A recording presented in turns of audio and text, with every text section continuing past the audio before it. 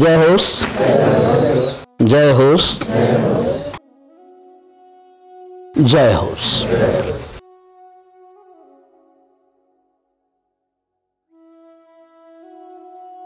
जिन्दगी अनन्त सम्भावना र अनन्त समस्याका श्रृङ्खला हुन् के अरे के अरे र अनन्त हुन् उठ्ने मान्छे बन्ने मान्छे सम्भावनामाथि काम गर्छ र खस्ने मान्छे बर्बाद हुने मान्छे समस्या समाधानमाथि खनिन्छ। सक्यो कुरा? त्यस्तै सम्भावना के त अब प्रश्न? सम्भावना मध्ये एउटा सम्भावना हो यो। यसलाई के भनिन्छ? आई आध्यात्मिक भाषामा यसलाई यता यताको दर्शनमा हाम्रो शास्त्रमा यसलाई आई अथवा तेस्रो नेत्र भनिन्छ। अनि चाइनिजहरूले टाओइस्टहरूले यसलाई माइन्ड माइन्ड आई भनिन्छ मनको आँखा अथवा ज्ञानको आँखा आई प्रज्ञा चक्षु अर्को शब्दमा यो अनन्त सम्भावना मान्छेको अनन्त सम्भावना मध्ये एउटा सम्भावना यहाँ छ।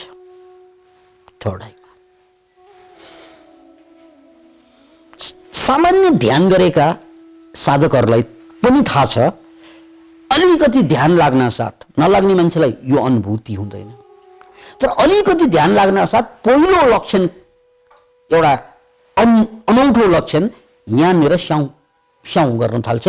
ध्यान गर्दा मात्र होइन ध्यानबाट बाहिर आउँदा पनि। हात उठाउनुहोस् त कतिलाई यो अनुभव भएको छ?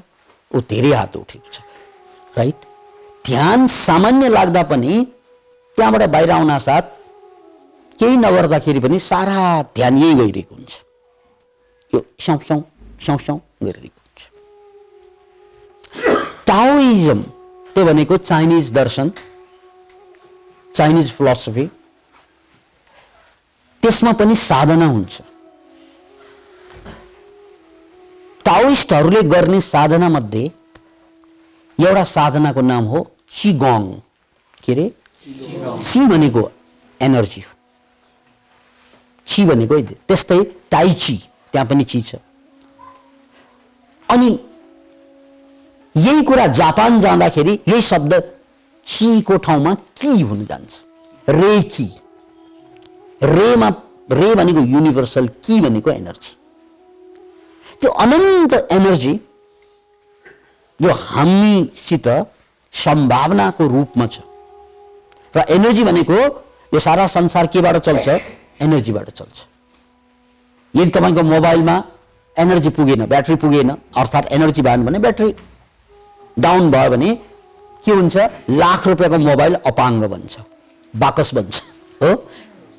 लाख रुपियाँको मोबाइल पनि यदि दस रुपियाँको एनर्जी पुगेन भने गयो त्यो। त्यस्तै जिन्दगी। त्यो मोबाइल लाख छ भने यो अर्बौँको होला। तर एनर्जी पुगेन भने यो अर्बौँको जिन्दगी लाख होइन यो लास बन्छ। त्यसकारण जति बढी हाम्रो एनर्जीको लेभल बढ्छ त्यति नै हामी बौद्धिक रूपमा भौतिक रूपमा मानसिक रूपमा हरेक रूपमा क्रियाशील हुन सक्छौँ। अघि एकजना मित्रले सोध्नुभयो अल्छ्याइलाई कसरी कमजोर कसरी कम गर्ने? कसरी फुर्तिलो जीवन बाँच्ने? हेर्नुहोस् है मान्छेलाई अल्छ्याइबाट बाहिर ल्याउनलाई केही गर्नु पर्दैन उसलाई ऊर्जा भरिदिनु पर्छ मान्छे तब मात्र अल्छी हुन्छ जब एनर्जीको लेभल कम हुन्छ। एकचोटि भन्नुहोस् त बिरामी मान्छे चाहिँ चनाखो हुन्छ क्रियाशील हुन्छ? ऊ अल्छी हुन्छ कि चनाखो हुन्छ? अल्छी हुन्छ। किन? भन्नाले बिरामी बिरामी भनेको ऊर्जाको लेभल एनर्जीको लेभल कम छ त्यसकारण कोही पनि मान्छे अल्छी हुँदैन। कमजोर हुन्छ। यति बुझौँ। कोही पनि मान्छे अल्छी हुँदैन। अल्छी हुनु भनेको उसको एनर्जी एक्टिभिटी भइरहेछ। भएर पनि जस्तै गाडी छ चाबी लाएर चलाएन भने एक्टिभेट भएन भने गाडी चल्दैन। राइट? पेट्रोल छ भित्र गाडीमा। गाडी छ पेट्रोल छ। तर त्यो चलाउनलाई त त्यो पेट्रोल केमा कन्भर्ट हुनु पर्यो? एनर्जीमा कन्भर्ट हुनु पर्यो। एनर्जीमा बदलिनु पर्यो। त्यो ऊर्जाको रूपमा आउनु पर्यो। यदि पेट्रोल ऊर्जाको रूपमा आएन भने गाडी चल्छ पेट्रोल भरि ट्याङ्क फुल छ तै पनि चल्दैन राइट हाम्रो जीवनमा पनि खाएका छौँ सास फेरिरहेकै छु पानी पिएकै छ यो हिसाबले शरीरमा ट्याङ्की त भरि भित्र। तर त्यो ट्याङ्की भरि भएको ऊर्जाको सम्भावना ऊर्जाको सम्भावना त्यो ऊर्जाको रूपमा एक्टिभेट नभएपछि अल्छी हुन्छ मान्छे।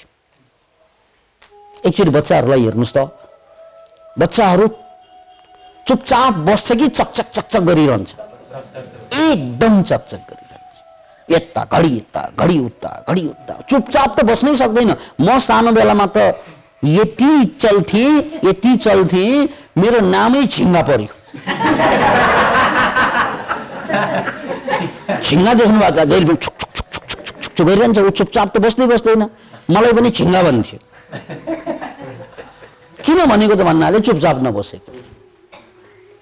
राइट अनि यो मान्छेहरूलाई के थाहा हुँदैन त भन्नाले त्यो चुपचाप बच्चाहरू बस्दैनन् त्यो ऊर्जाको कारणले हो। एनर्जीको लेभल बच्चामा हाई हुन्छ हायर लेभलमा हुन्छ सामान्य मान्छेको भन्दा बच्चाहरूको एनर्जीको लेभल हाई हुन्छ। त्यसकारण उनीहरू चुपचाप बस्दैनन्। अनि आमा बाबा के चाहन्छन् भन्दा ज्ञानी बच्चा चल्नु हुँदैन भन्छ। अरे यार तपाईँको बच्चा चलेन ज्ञानी भयो भने यो बिरामी भयो भनेर बुझ्नुहोस्। यदि बच्चा कम चल्यो भने यो बिरामी हो ज्ञानी होइन। यो भ्रममा नपर्नुहोस् बिरामी। यदि बच्चा चलेन भने त्यो बिरामी हो। क्यान इमेजिन इट त्यसकारण बच्चाहरू चल्नुको कारण एनर्जीको लेभल हायर लेभलमा छ भनेर हामीले बुझ्नुपर्छ। एनर्जी त्यसको एक्टिभेट भइरहेको छ। चलिरहेको छ ऊर्जा शक्ति। हाम्रो पनि एनर्जी चाहिँ चलेको भए हामी पनि चुपचाप बस्नै सक्दैनौँ। त्यहाँ क्रिएटिभ मान्छेहरू कहिल्यै चुपचाप बस्दैनन्। कहिल्यै चुपचाप बस्दैनन् अनि एउटा गजबको कहानी पनि म प्रसङ्ग पनि सुनाउँछु।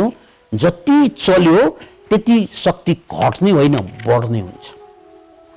त्यसलाई काइनेस्थेटिक एनर्जी भनिन्छ। यो शब्दलाई पनि याद राख्नुहोस् काइनेस्थेटिक एनर्जी। पानी चुपचाप बस्यो भने करेन्ट निस्कन्छ कि चलेपछि निस्कन्छ? इट चलेर शक्ति घट्दैन। अब हामीलाई चाहिँ भ्रम के छ त भन्नाले होइन धेरै काम गर्नु हुँदैन एनर्जी जान्छ भन्छ। ल ए पाखे।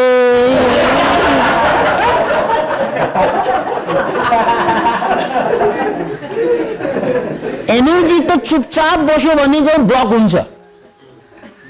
अब वैज्ञानिकहरूले केही समय पछाडि यस्तो मेसिन निकाल्दैछ जस्तै सोलर पावर भने जस्तै काइनेस्टिक एनर्जी तपाईँले हात चलाउँदाखेरि पनि यो हातको घर्षणबाट एनर्जी निस्किरहेको हुन्छ त्यसलाई चाहिँ स्टोर गर्ने सिस्टम निकालिँदैछ। खुट्टा हिँड्नुहुन्छ नि फटाफट त्यो बेला पनि एनर्जी निस्किरहेको हुन्छ। त्यसलाई पनि स्टोर गर्ने डिभाइस निकाल्दैछ। त्यसपछि त के चाहियो? तपाईँ जति जति हिँड्यो एनर्जी त्यहाँ भरिँदै जान्छ ब्याट्री तपाईँको मोबाइल अब चार्ज गर्नु पर्दैन अबको जेनेरेसनमा। तपाईँ हिँड्दै गएपछि फ्यान्ट्राङ फ्यान्ट्राङ हिँडेपछि तपाईँको शरीरबाट निस्कने एनर्जी उसलाई पास भइरहेको हुन्छ। Imagine? त्यस कारण एनर्जी भनेको चलेपछि निस्कने हो। तपाईँ भन्नु होला म अल्छी छु सर त्यसकारण केही गर्दिनँ। म भन्छु तपाईँ केही गर्नुहुन्न त्यसकारण अल्छी हुन्छ। बडा गजबको कुरा हो त्यसकारण अतिमा जानु भएन धेरै जोतिया जोति जोतिया जोति भयो भने चाहिँ एनर्जी लस हुन्छ। त्यसमा त शङ्कै हुन्। त्यसलाई एक्जसन भनिन्छ। तर मिलाएर एक घन्टा फटाफट हिँड्नुहोस् या काम गर्नुहोस् जस्तै व्यायाम गर्नु पनि त चलाउनु हो नि शरीरलाई। त्यो चलाएपछि एनर्जी लस हुन्छ कि बढ्छ? त्यो सबैलाई थाहा छ। त्यसकारण चलेर एनर्जी जाने होइन। त्यो चलेर विश्रान्ति लिनुपर्छ बिचमा। जस्तै एक घन्टा चल्यो पाँच मिनट जति complete relax physically mentally. Relax गऱ्यो भने अनि फेरि एनर्जी सर आउँछ। जस्तै म केही समयदेखि ट्रेकिङ गर्दैछु। अहिले पनि पोखरामा थिएँ र ठाउँ ठाउँमा ट्रेक गर्छु। त्यो ट्रेक गर्दाखेरि के हुन्छ? एक घन्टा दुई घन्टा चढेपछि थकाइ लाग्छ। अनि त्यसपछि एकछिन रेस्ट गरेपछि फेरि सरर एनर्जी चार्ज हुन्छ। अनि फेरि ट्रेक गर्यो एक दुई घन्टा गरेपछि फेरि थकाइ लाग्छ। अनि फेरि चाहिँ रेस्ट गर्यो फेरि चार्ज हुन्छ। त्यसकारण हामी अल्छी हुनुको कारण एनर्जीको एक्टिभेसन चाहिँ नभएर। एनर्जी एक्टिभेट चाहिँ भइरहेको भए अल्छी हुन सक्दैन। अनि एनर्जी एक्टिभेट किन भएन त भन्नाले जीवनमा गर्ने योग्य कुनै गोलै छैन लक्ष्यै छैन। लक्ष्य भएन भने चाहिँ कहाँ एक्टिभेट हुने? काम कामै छैन जस्तै तपाईँलाई भोलि बिहान कुनै तरुणीले या कुनै तरुणले पाँच बजे आउनु भन्यो भने चार बजेदेखि आँखा खोल्छ। कति एक्टिभ हुन्छ। अब अरू अभ्यासीय भइसक्यो भोलि चाहिँ छुट्टी छ भन्यो भने मान्छे चार बजे आँखा खोले पनि फेरि घुम्लुङ्गो आँखा छोपेर अहिले चाहिँ उठ्ने बेला भएको छैन आठ बजीसम्म सुत्छ हो होइन? हो होइन? यसको मतलब तपाईँले प्रोजेक्ट र प्रोग्राम अगाडि भयो भने मान्छे छिटो उठिरहेको हुन्छ एक्टिभेट हुन्छ। प्रोजेक्ट प्रोग्राम केही छैन भने ऊ अल्छी हुन्छ। त्यसकारण जीवनमा अल्छी हुनुको कारण के त भन्नाले हाम्रो जीवनमा प्रोजेक्ट छैन। ठुलो कामै छैन केही। केही महान उद्देश्यै छैन। केही यो गरौँ त्यो गरौँ भन्ने एउटा उद्देश्य हुनु पर्यो नि केही छैन। अनि त्यो केही नभएपछि के को लागि एक्टिभ हुनु? अनि फिल्म हलमा गएर धचक्क बस्छ। मुखभरि चाहिँ पपकर्न ठुस्छ। अनि फिल्म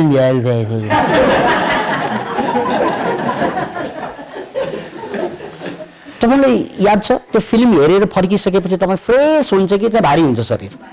सबैलाई थाहा छ। किनकि तपाईँ दुई घन्टा ब्लक भयो तपाईँ।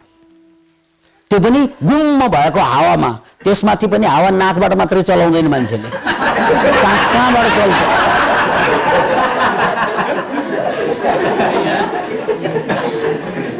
त्यसकारण मान्छे अल्छी हुनु भनेको प्रोग्राम नभएपछि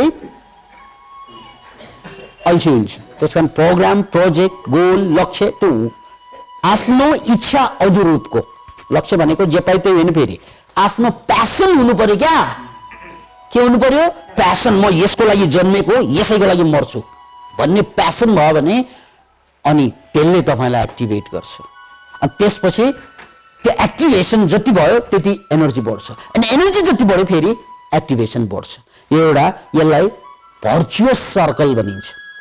भिसियस भनेको उल्टो भयो नेगेटिभ पोजिटिभ के त भर्चुअस सर्कल किनकि प्यासन छ एक्टिभ एक्टिभिटी बढ्यो एक्टिभिटी बढ्यो एनर्जी बढ्यो एनर्जी बढ्यो फेरि चाहिँ एक्टिभिटी बढ्यो एक्टिभिटी एनर्जी एक्टिभिटी एनर्जी त्यस कारण मान्छे अल्छी हुँदैन मान्छेमा प्रोजेक्ट र प्रोग्राम हुँदैन त्यो नहुनासाथ अल्छी हुन्छ यसरी बुझौँ अब मैले यहाँ सम्भावनाको कुरो गरेको थर्ड आइमा यो थर्ड आइको कुरा गर्दा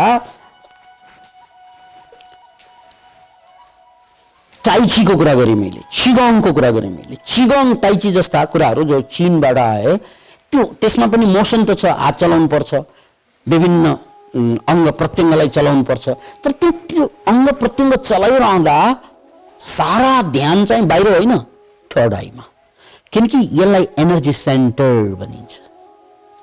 यानि हाम्रा सारा शक्तिको केन्द्रको रूपमा टाइचीमा सिगङमा यसलाई लिइन्छ। र यो शक्तिको केन्द्र भएकोले जति ध्यान यहाँ जान्छ त्यति त्यति शक्ति बढ्दै जान्छ। त्यति यो चाहिँ चिनिया विधि भयो। अब यताको हाम्रो हिमाली क्षेत्रको यो भारतवर्षको विधि भारतवर्षभित्र नेपाल पर्छ भारत पर्छ अरू देश पनि पर्छन्। यो भारतवर्षभित्रको चाहिँ जुन शास्त्र योगलाई नेपालको योगलाई भारतको भन्नुभन्दा योगलाई भारतवर्षको भन्नुपर्ने हुन्छ। किनकि यो यही क्षेत्रमा विकास भएको। र हामीले यहाँ ध्यान दिनुपर्छ यहाँबाट शक्ति आउँछ भन्ने हाम्रा योगीहरूले धेरै अगाडि पत्ता लगाएर मुद्रा बनाए। के बनाए? मुद्रा। जस्तै साम्भवी मुद्रा। यो दुवै आँखालाई यहाँ ल्याउनु। यसलाई आँखा खोले पनि हुन्छ बन्द गरे पनि हुन्छ ल। आँखा तेस्रो नेत्रमा केन्द्र गर्यो केन्द्रित गर्यो अनि त्यसपछि ध्यान सुरु भयो। र यसरी यहाँ ध्यान केन्द्रित भइरहँदा यो सम्भवी मुद्रा लागिरहँदा सामान्यतया पनि धेरै रिसाउने मान्छेको रिस दुई चार दिनको अभ्यासमा पनि रिस कम भएको देखियो। दुई चार दिन त मैले थोरै भने कम्तीमा एक्काइस दिनको अभ्यासमा। अनि कति मान्छे डराउँछन् मेन्टल प्रब्लम छ। त्यो धेरै खालका मेन्टल प्रब्लममा पनि यो साम्भवी मुद्राले त्यो प्रब्लम चाहिँ हटेको देखिएको छ। किनकि यहाँ ध्यान केन्द्रित गर्न साथ तपाईँको शरीरमा एनर्जीको लेभल बढ्दै जान्छ। र यहाँ ध्यान गर केन्द्रित गर्न सुरुमा गाह्रो भयो भने पनि आँखा खोल्दै बन्द गर्दै पनि गर्न सकिन्छ। हेर्नुहोस् त यहाँ सारा ध्यान यहाँ केन्द्रित गर्नुहोस्। यसलाई चाहिँ औँलामा हेर्दै ल्याउने यसरी। यसरी हेर्दै ल्याउँदा दुवै आँखा एक ठाउँमा आउनु पर्यो। टक्क। यसो गर्यो भने छिटो ध्यान केन्द्रित हुन्छ। किनभने मान्छे डराउँदाखेरि आँखा चल्छ दायाँ बायाँ चल्छ। मान्छेले विचार गर्दा आँखा तल ल्याउँछ दुवै आँखा। मान्छेले कल्पना गर्दा आँखा माथि लग्छ। हेर्नुहोस् है कल्पना गर्दाखेरि के हो भनेर गर्दा माथि जान्छ आँखा। यसरी कल्पना गर्छ। अनि विचार गर्दाखेरि यसरी। विचारमा त चित्र आउँदैन। कल्पना गर्दा र विचार गर्दा फरक भयो। आँखा। अनि डराउँदाखेरि हँ के भयो? यसो यसो जान्छ। अब साम्भवी मुद्रामा आँखा माथि पनि गएन तल पनि गएन दायाँ बायाँ पनि गएन। कहाँ गयो? दुवै आँखा यहाँ आयो। भनेको मतलब यसले ब्रेनको एउटा यस्तो पार्टलाई एक्टिभेट गर्छ यस्तो पार्टलाई जसले कल्पना पनि गर्दैन जसले विचार पनि गर्दैन डराउँदैन पनि। त्यो भनेको आध्यात्मिक स्टेट हो। त्यो भनेको बिस्तारै मनलाई खाली गर्दै लग्छ यो आँखाले। हेर्नुहोस् है। सुरुमा गर्न मात्रै गाह्रो हो यो। यसलाई हेर्नुहोस् यहाँ तेस्रो नेत्रमा। यसरी हेरेर सुरुमा ल भनौँ मलाई चाहिँ एक मिनट मैले घडी हेरेँ। पिरो भयो गाह्रो भयो अप्ठ्यारो भयो। मैले बिस्तारै बन्द गरिदिएँ। अनि सासलाई मात्रै वाच गरेर बसेँ। अथवा ध्यान यहीँ केन्द्रित गरेँ। दुवै अप्सन छ तपाईँसँग। श्वासलाई पनि अथवा अब यो साम्भवी मुद्रा नै गर्ने हो भने यहीँ ध्यान मैले केन्द्रित बसेँ। अनि अर्को पटकको अभ्यासमा यसलाई एक मिनट होइन अब म दुई मिनट गर्छु। दुई मिनटपछि मैले आँखा बन्द गरेँ। मन शान्त हुँदै जान्छ। फेरि त्यहीँ ध्यान केन्द्रित गरेँ अर्को दुई मिनट। यसरी एक मिनट दुई मिनट एक मिनट दुई मिनट गरी एक दुई हप्ता अभ्यास गरेपछि कम्तीमा बिस मिनट यहाँ चाहिँ ध्यान केन्द्रित गर्ने सम्भवी मुद्रा लगाउन सक्ने हो भने रिस द्वेष राग यो मानसिक पीडा कन्फ्युजन त्यो सबै बिस्तारै शान्त हुन्छ र शरीरमा गजबको एनर्जीको चाहिँ फिलिङ हुँदै राइट? हेर्नुहोस् है त्यसकारण हामीसँग अनन्त सम्भावना हुँदाहुँदै पनि हामीले त्यो सम्भावनामाथि अभ्यास गरेनौँ। हामी समस्या समाधान गर्नतिर लाग्यौँ। हामी घरको समस्या परिवारको समस्या या देशको समस्या कता कता समस्या आइरहन्छ नि त्यो समस्यामा कुद्यौँ। तर सम्भावनामा वास्तै गरेनौँ। सम्भावनामा वास्ता गर्ने हो भने बिहान उठ्न साथ म आफ्नो दुई घन्टा समय कसैलाई दिन्न र मैले के के गरिरहेको छु त्यसमा अब साम्भवी मुद्रा जोड्छु। किनभने यो ठडाइ हो यसको एक्टिभेसनबाट एनर्जी बढ्छ। एनर्जी बढिसकेपछि त्यो एनर्जीबाट म जे पनि गर्न सक्छु। जोस आउँछ जाँगर आउँछ। अनि मैले गर्नुपर्ने क्रिएटिभ कामहरू मजासँग गर्न सक्ने हुन्छु। किनकि अब मसँग पेट्रोल टन्न भएको गाडी जस्तै फुल ट्याङ्क भएको गाडी जस्तै मसँग फुल ट्याङ्क भएको एनर्जी छ। र त्यो एनर्जीबाट मैले सम्पन्न गर्नुपर्ने सबै काम गर्न सक्नेछु। राइट? यो सम्भावनाको कुरा। र एनर्जी तपाईँमा हाई लेभलमा आइसकेपछि परिवारको समस्या तपाईँले यसरी समाधान गर्न सक्नुहुन्छ। समस्या समाधानै गर्नु पर्दैन भनेको त होइन नि। प्राथमिकता समस्यामा होइन प्राथमिकता सम्भावनामा ल्याउनु। अनि ताकत आइसकेपछि समस्या त यसरी समाधान हुन्छ। किन इमेजिन अब ताकत छैन भने समस्या समाधान हुँदैन। समस्याले थिचेर मर्छ मान्छे। त्यसकारण समस्या जीवनमा आएका समाधान नगर्नु भनेको होइन। अघि कतिले सोचेर के बस्यो भने होइन सर यो समस्या भनेको समाधान गऱ्यो भने बर्बाद भइहाल्छ नि। भन्ने पनि डाइलग आइरहेको छ त्यहाँ। मैले सुनिरहेको छु त्यहाँ। क्या किन मैले सुन्नु भनेको तपाईँहरूको आँखा देखेर बडी ल्याङ्ग्वेज देखेर पढिरहेछु। अब सबैलाई होइन कतिलाई चाहिँ होइन यो समस्या समाधान हुँदैन। यो कुरा मिलेन यो। हाम्रो यहाँ समस्या समाधान नभएर कत्रो कत्रो भइसक्यो सर। अब कत्रो बनाउनु फेरि। कतिलाई त्यो लागि लाग्दो होला? मैले समस्या समाधान गर्दै नगर्नु भनेको होइन। प्राथमिकता समस्या समाधान भन्दा सम्भावनाको खोजीमा आउनुपर्छ त्यसपछि आएको ऊर्जाले गर्ने त फेरि समस्या समाधान कति समस्या त आफै समाधान हुन्छ। कतिलाई चाहिँ त्यो एनर्जी उत्साह भएपछि एनर्जीले चाहिँ समाधान गरिदिन्छ। भन्न खोजेको त्यही हो। जस्तै उदाहरणको लागि तपाईँसँग गाडी छ। त्यो गाडीबाट भनौँ तपाईँले यात्रा गर्नु पर्यो वीरगन्जसम्म दुई सय किलोमिटर हो? अब यो दुई सय किलोमिटर यात्रा यो गाडी पनि लैजानु पर्ने तपाईँलाई के लाग्यो भन्नाले यो गाडी दुई सय किलोमिटर कसरी लग्ने मलाई थाहा नै छैन भनेर ठेल्न थाल्नु भयो तपाईँले। अब वीरगन्ज पुग्नलाई तपाईँ कति समय लाग्ला? कम लाग्छ कि धेरै लाग्छ? धेरै लाग्छ सम्भवतः चाहिँ कमजोर मान्छे बिचैमा मर्छ। हो? यो समस्याको समाधान गरेको एकजना मान्छेले फोन गरेर तैँले वीरगन्जमा मेरो गाडी ल्याइदिएन भने गोली ठोकिदिन्छु भनेछ। अब जसरी पनि लग्नु पर्यो उसलाई अनि उसले ठेल्न थालेछ। यो समस्याको समाधान गरेको। किनकि त्यहाँ पुगेन भने गोली ठोक्छ उसले। हो? त्यस कारण यहाँ ठेल्न थाल्यो। तर गर्नुपर्ने के त? ड्राइभिङ सिक बाबु गाडी ठेल्ने कि ड्राइभिङ सिक्ने? इट तर अधिकांश मान्छेले उसलाई गोली ठोक्छु भनेछ। वीरगन्जमा गाडी पुगेन भने डरले ऊ ठेल्न थाल्छ राइट हुनुपर्ने के त? ल ठिक छ म पहिला चाहिँ गाडी सिक्छु अनि त्यो गाडीभित्र छिरेर चलाउँछु। जिन्दगी त्यही गाडी हो। तपाईँले पहिला ड्राइभिङ सिक्नुपर्ने अनि गाडीलाई वीरगन्ज पुर्याउनु पर्ने तर तपाईँले के गर्नुभयो? कसैको धम्कीको कारणले गर्दा गाडी ठेल्नतिर लाग्यो क्या जागिर खानतिर पढ्नतिर यो गर्नु त्यो गर्नु त्यो गर्नु सबै गरे तर आफ्नो लागि केही गरेन। हो? आफ्नो लागि केही गरेन एउटो साधना जोडिएन आफ्नो लागि। द्याट्स द पोइन्ट त्यसकारण प्राथमिकता सम्भावनामा दिने। सम्भावना दिनु भनेको ड्राइभिङ सिक्नु अनि गाडी चलाउनु मजा बेग्लै। ठेल्नु जिन्दगी बर्बाद। यो सबै मान्छेले जिन्दगीलाई ठेलिरहेको छ। त्यसकारण के छ यार भनेपछि बाँचिया छ्या भन्छ नि। गाडी ठेलेपछि यही डायलग आउँछ क्या। रमाइलो भइरहेछ गाह्रो भइरहेछ बाँचिया छ। अब कसैले त्यस्तो डायलग दियो बाँचिया छ भन्यो भने सोध्नुहोस्। आयु स्योर बाँचेकै हो यो? ये जीना भी कोई जीना है लल्लू। है? ओके सर्भाइभ हुनु र लिभिङ भनेको surviving and living is two different things survive हामी जम्मै सर्भाइभ मात्रै भइरहेका छौँ. We are not living at all in English we are not living at all we are just surviving हो? हामी मात्र सासलाई धानिरहेका छौँ बाँचिरहेका कोही पनि छैन।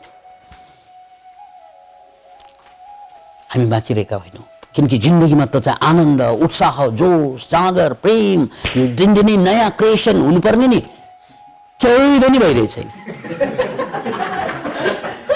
so we are just surviving के अरे we are not living we are surviving okay यही कुराको बाँकी भाग अर्को चैप्टर थ्याङ्क यू